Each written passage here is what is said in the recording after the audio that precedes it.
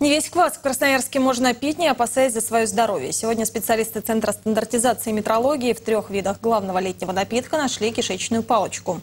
Всего для экспертизы закупили 12 наименований кваса. Семи в бутылках производства Великого Новгорода, Томска, Тюмени, Новосибирска и Новосибирской области, Алтайского края, а также из Зеленогорска, а также пяти видов разливного кваса, который продают в бочках и кегах из Красноярска, Зеленогорска и Кемеровской области.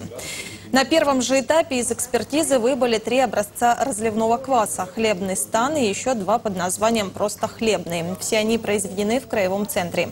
Лидерами же стали бутылированные напитки. На первом месте «Благодей» традиционный из Томска. Вторую строчку рейтинга занял квас Никола производства Великого Новгорода. Ну и а замкнул тройку лучших квас Зеленогорский традиционный. Первый компонент, который играет роль, это собственно говоря, подготовка воды. Это основной процесс начала технологии. А все остальные компоненты, это уже зависит от того, как производство поставило свою технологию. Присутствие ККС, вот э, в процессе работы мы поняли, что ККС тоже бывает концентрат квасного сусла. Это основа, так сказать, приготовления кваса.